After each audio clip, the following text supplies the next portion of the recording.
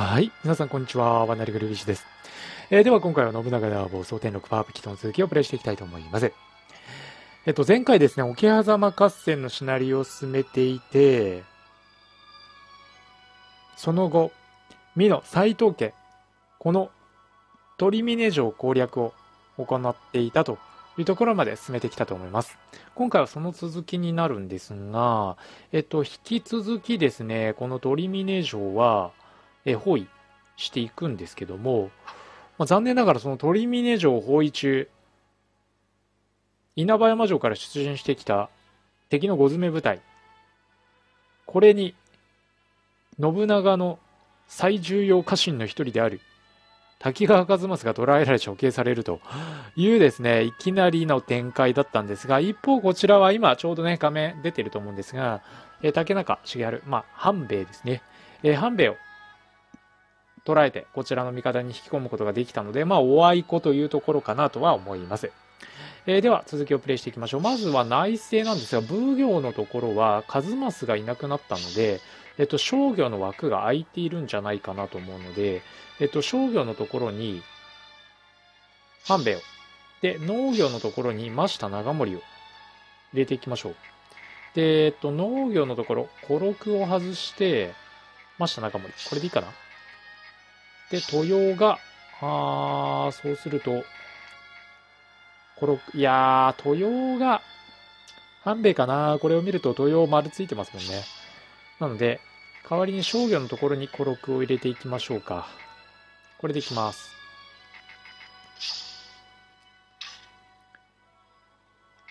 で、軍事は歩兵をかけていきたいですが、歩兵は今は必要ないと言われちゃってるので、これでいきましょう。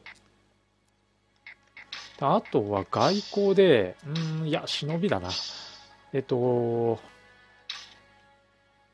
雇っていきましょう。雇用です。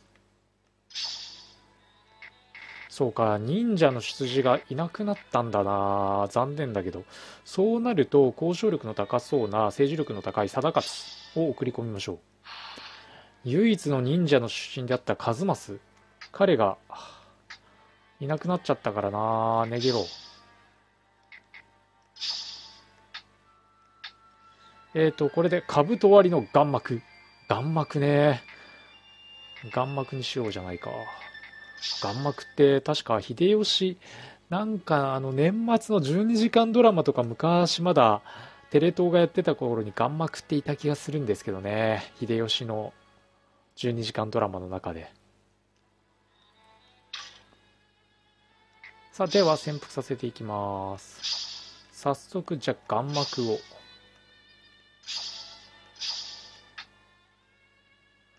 さらに、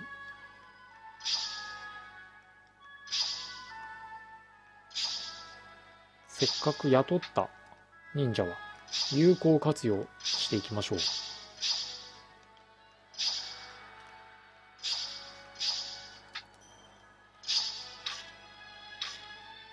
で、あとは破壊工作だな。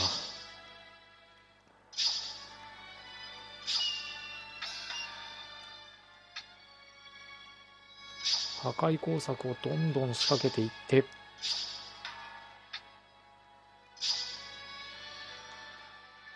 敵の城を落としやすくしていきます。何？見つかったか？しかも、敵は雷蔵能力し、殺されそうな気がする。逃げたか？大丈夫？さっとなりましたけど。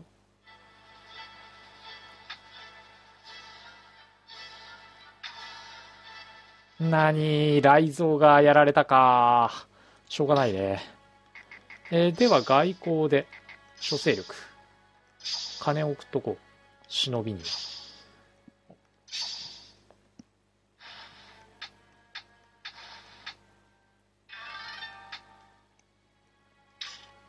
で、今後金はどんどん必要になってくると思うので、やっぱりいち早く敵の城一つ二つと抜いていきたいですね。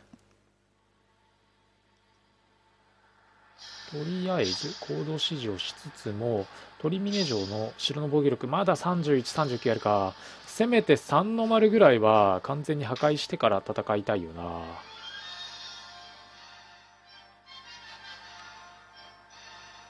や、防御力高いですね、どの城も。まあ、敵の5詰めがやってくると思うので、5詰め決戦で、さらに敵の戦力自体を削いでいければ一番いいかなと思います。やってきましたね。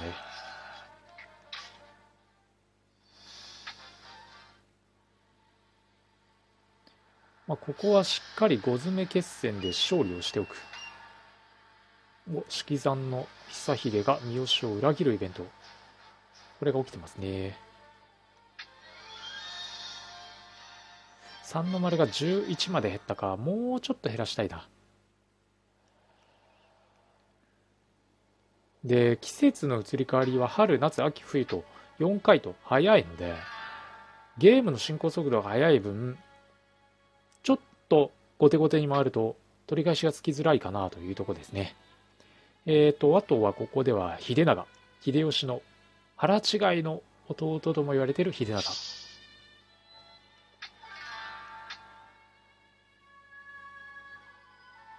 お金もまだそれなりにあるからいいかな。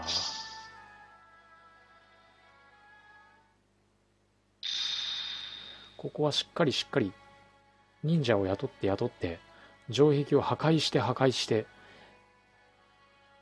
できるだけ手堅く城を落としていきたいですね。で、美濃を切り取って近江六角へ進行、安土城を築くという流れがいいかな。そういえば安土城といえば、あのー、タイに、いつだったかな、6月の10、10じゃない、えー、6月の第2週目、パリから帰ってきた翌週、えっと、慌ただしくタイの方に遊びに行ったんですけども、その時アナを使ったんですが、アナの飛行機の中で、えっと、加点の城で読み方合ってるかな？あの、安土城を築城する映画をやってたんで見ました。えっと、ここはどうする？秀長にちょっと交渉してもらいましょうか。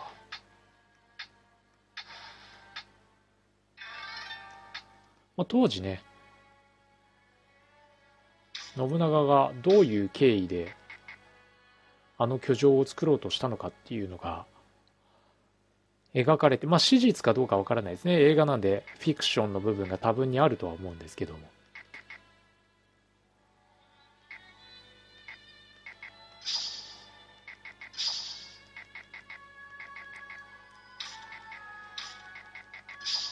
さあ、じゃあ忍者をまた雇っていきましょう。ここは、マスター長森を派遣して、本当に忍びの、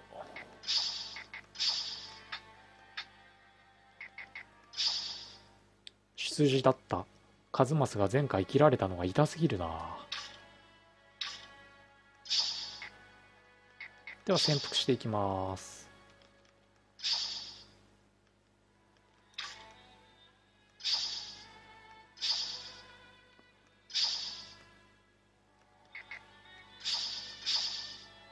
まあ、できるだけね、あの、味方の損害なく、かつ確実に城を落とすというのが一番いいので、これが2回3回と出直しになると、その分時間と兵力とお金も使わなきゃいけないっていうことを考えると、できるだけ時間をかけてでも1回で切りをつけるためには忍者を使って敵の城の防御力をへたらせましょう。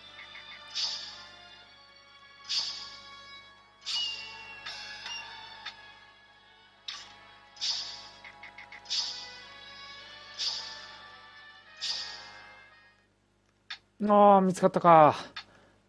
これは死ぬパターンだな。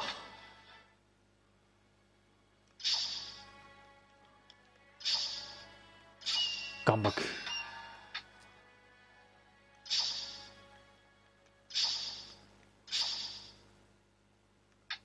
見つかったか。ただここは能力的には勝てそうだよ。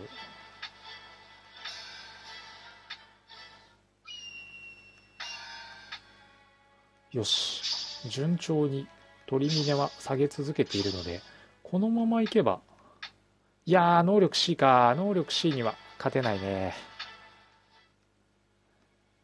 これで、どれくらい鳥峰城の城壁の防御力が落ちたかですね。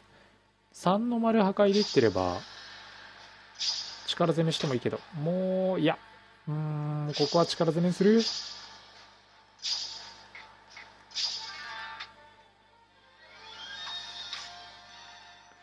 まあ、あの、最初の門はすぐ突破できるかなと思いますので、最初の城攻めになるので、ここは自分で指揮を取っていきます。えー、鳥峰側は1800か軍勢の数。うん、一気に攻め落としましょうという流れです。えー、っと、まずは左翼というか、まあ、左側から攻めるのが、どうだ？ここは、秀吉。で、いいかな。で、えー、吉成と信長が右から攻めるという形でいきましょう。まあ、信長がやられるとそこで対人にはなってしまうので、そうならないようにだけは気をつけます。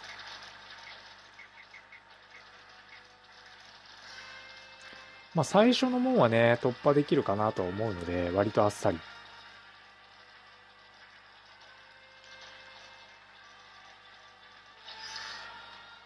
さあ、門は突破しましたね。ここでどんだけ削れるかなんだよね、敵を。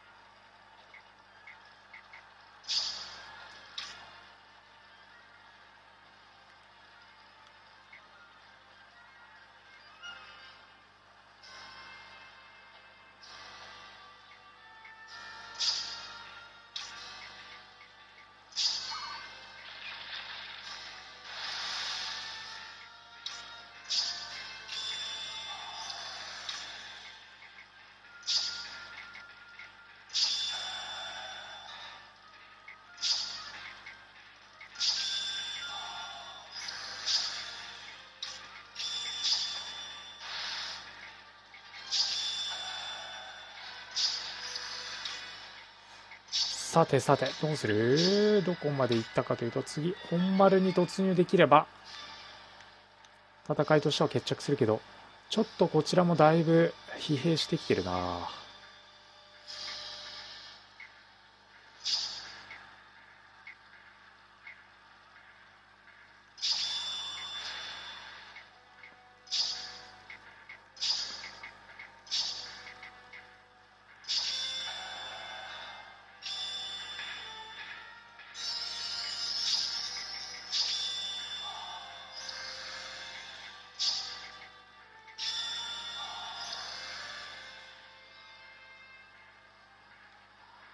さあ、残りの敵の数、縄文の耐久力、ともにもうギリギリまで来てるので、このまま一気に押し切りたい。よし。縄文突破しましたね。これで本丸突入で鳥峰を落としましたというところになります。んで、一鉄。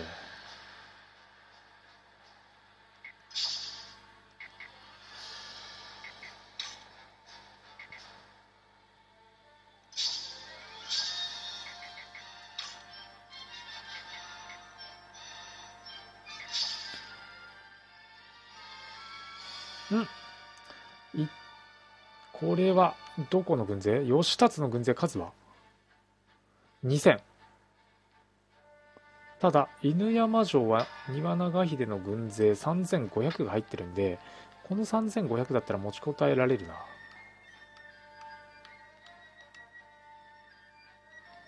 そうすると、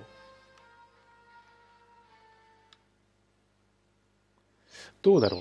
一旦戻るのがいいのか、それとも内液城に入って攻撃をした方がいいのか、ちょっと悩ましいところですね。どっちのがより早く斎藤家を倒せるかというとこだな。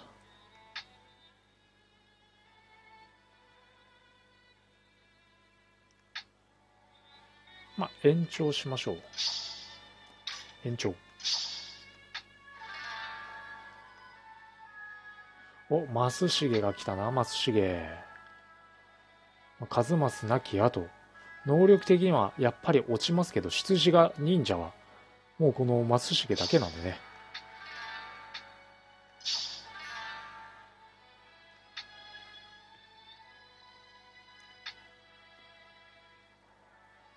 で、ここでは、長尾景虎が上杉姓を受け継ぐというイベントですね。悩ましいのが本当にこの後どうするかだな。苗木城を攻めるか。それとも一旦戻って犬山城の救援に当たるか。兵力的にはおそらく犬山城に残る3500の軍勢で斎藤義達の2000これを弾き返せるんじゃないかなと思うんですよね。であれば今のうちに内城を攻略するっていうのも一つの手かなと思います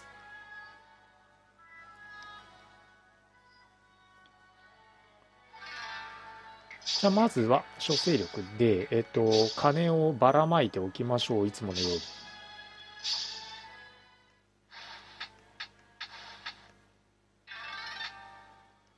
甲賀と伊賀にはね、今後お世話になっていて、かつ、能力の高い忍者を派遣してもらいたいので、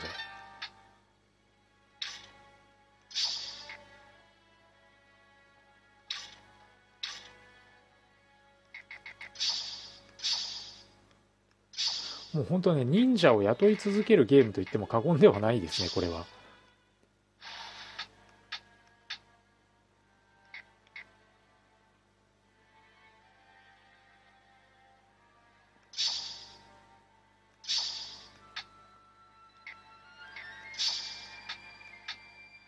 よし、これで4人。これは大きいな、4人は。で、さらに、伊賀にも。ここは、どうする？まあ、秀長に行ってもらお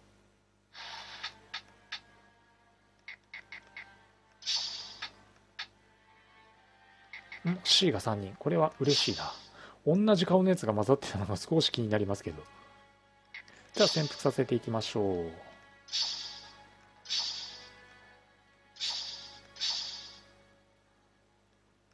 まあ、一人ぐらいはね、あの、残しておきたいので、各城には。逆に潜伏仕掛けてくる輩も多分この先出てくるんじゃないかなと思うので、まあ、そういった連中をこう排除する目的ではね、えー、まあ、1人2人と忍者は手元に置いておいてもいいかもしれませんね。で、それ以外はというと、もうひたすら潜伏させていきましょう。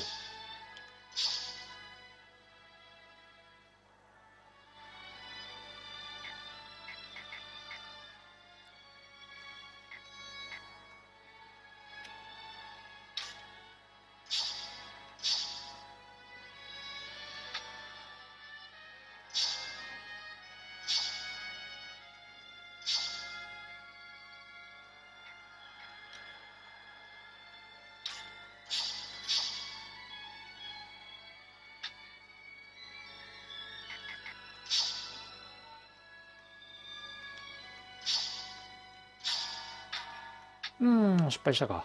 まあ、しょうがないね。稲葉山城にも仕掛けておきましょう。うーん、失敗か。しかも見つかった？どうなる？眼膜体。C と C。何眼膜がやられたか。兜割りの眼膜がやられてしまったか。しょうがないな。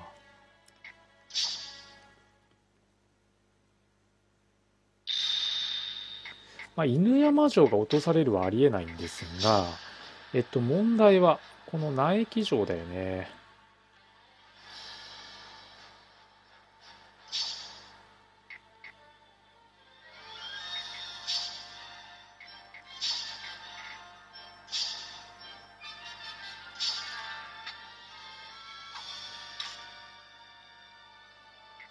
ここは一旦苗木城を力攻めにしよう。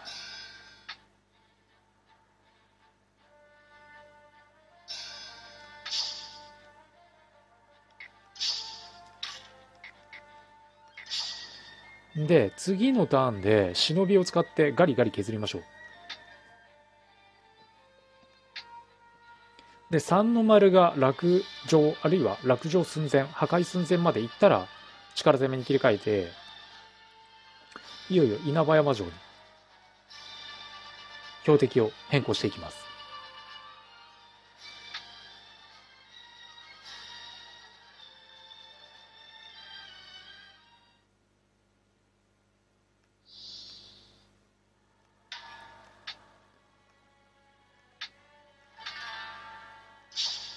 ちょっとお金も何もかもが減り気味になっているので、やっぱりいち早く、いち早く、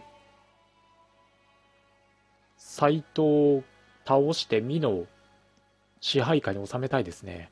尾張一国だとやっぱり国力的には厳しいですからね。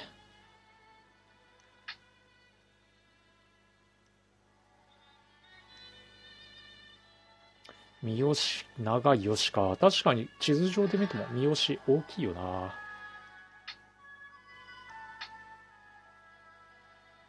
まあ、朝廷とも仲良くしておかないと朝敵にされる可能性があるな。まあ、まだいいとは思うんですけどね。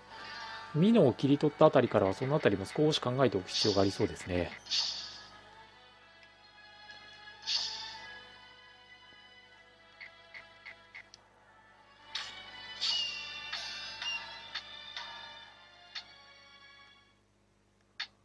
お、ここは？ダハやられたか。雷神の源五郎強いな。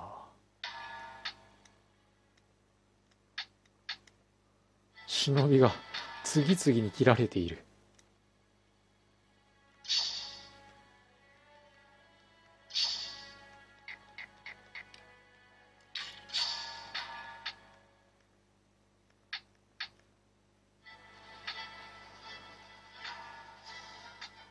同じ能力同士でぶつかっても切られるな。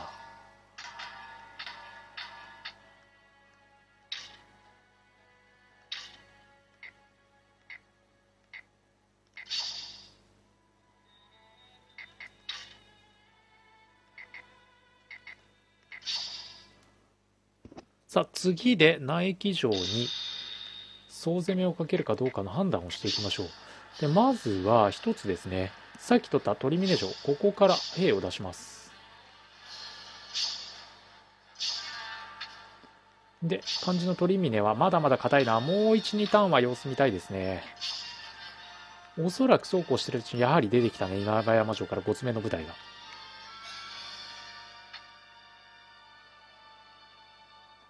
これでも稲葉山城から出てきた部隊が鳥峰に入っていくわけか。なかなかきついな。これ鳥峰城が逆に落とされると結構辛いですからね。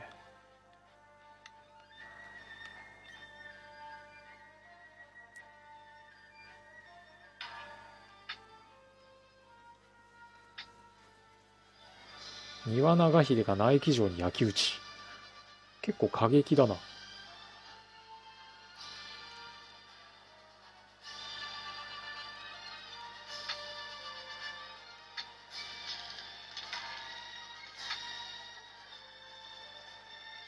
よし、三の丸が落ちてるじゃないか、よく見たら。これ次のターンで総攻めに切り替えましょう。で、お米、お金が入ってくるので、多少潤いますね。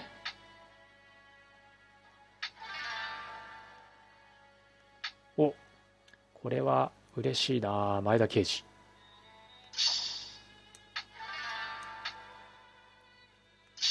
お金がもっともっと欲しいよね。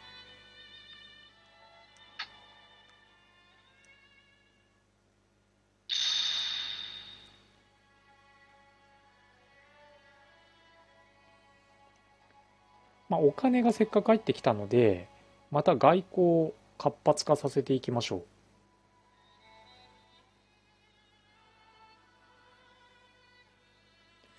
で特に注意しなきゃいけないのが、朝廷。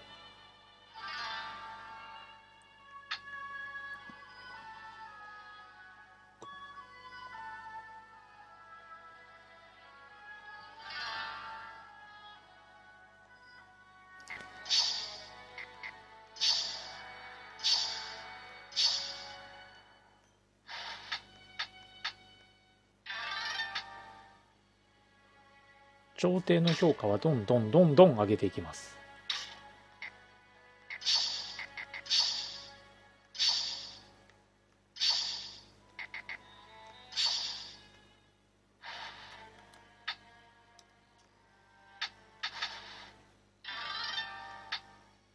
まああのどんどんどんどん切られてますからね。一方で忍者たちが。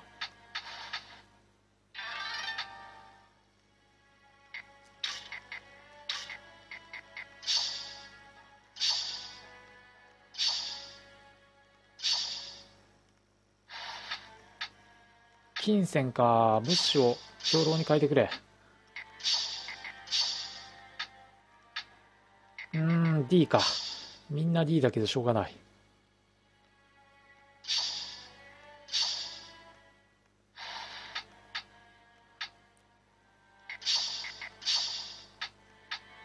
C が3人。うん。悪くないですね。じゃあこれをこぞって稲葉山に。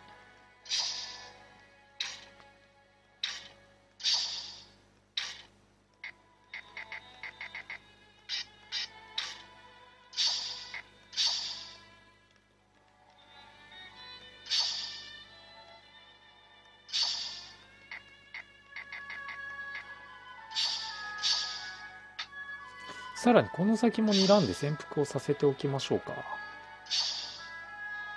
大垣沢山城ですね。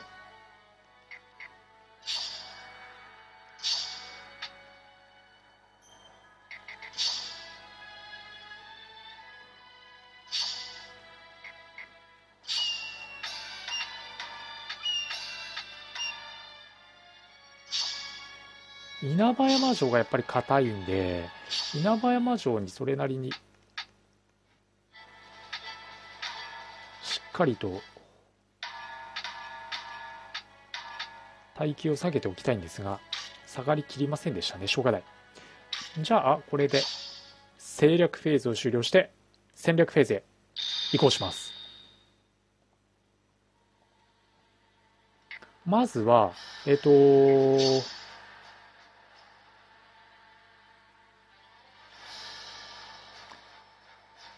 内地城これを力攻めにしようかな。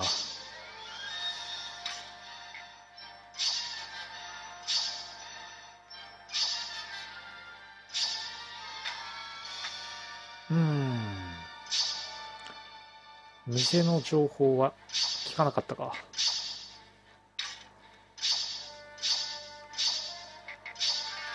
力攻めにしましょう。えっ、ー、ともう内気城は三の丸落ちてますからね。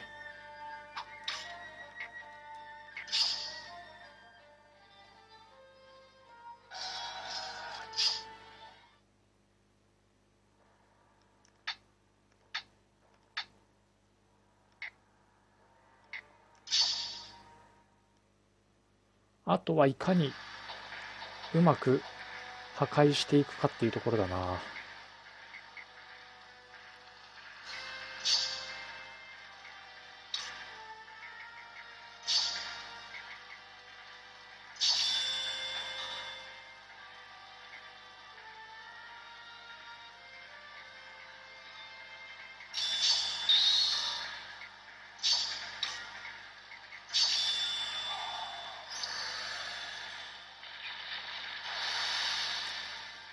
うーん。石を落としてきたか。やるな。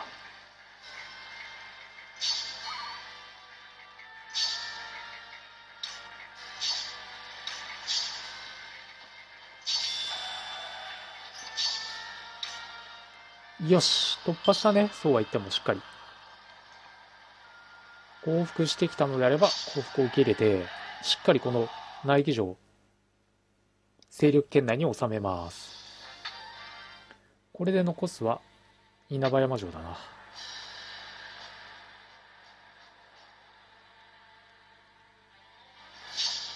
一旦各部隊を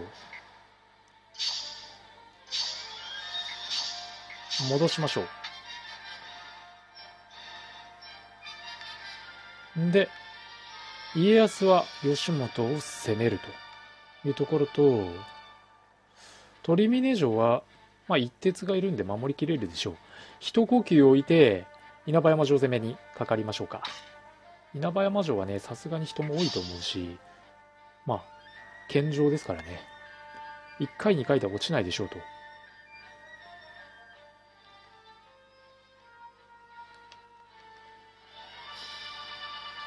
武将の数も多いし、兵士の数も多いし、城の守りも堅いですというところだな。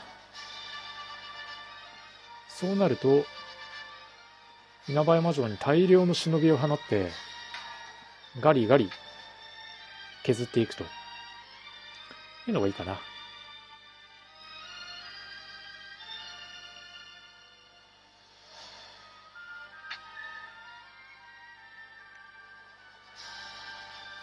あとは清洲城とかは大きいので、稲葉山城攻めを観光するときに、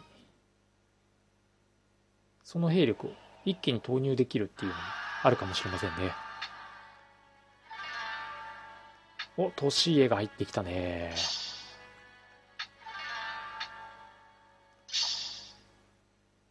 では、まずは稲葉山城を攻める前に、鳥峰城に迫ってきている斎藤軍これを5詰めで潰しておきましょう。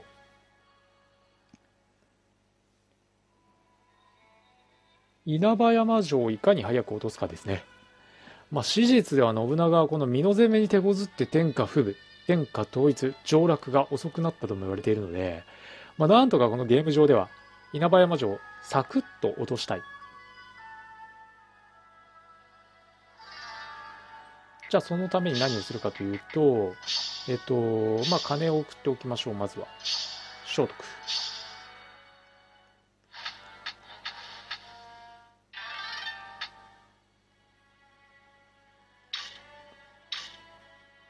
で、あとは、忍者。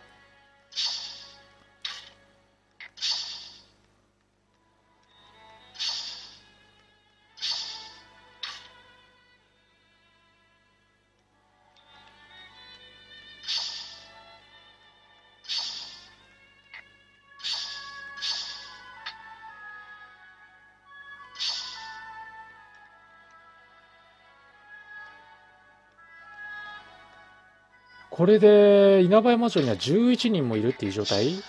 じゃあこの11人を使って、えー、どんどんどんどん城を弱体化させていこう。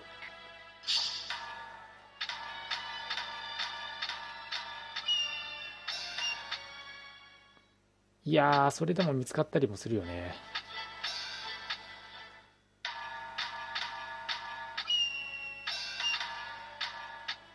11人いて2人か成功したのは、まあこれはしょうがないといえばしょうがないのかな。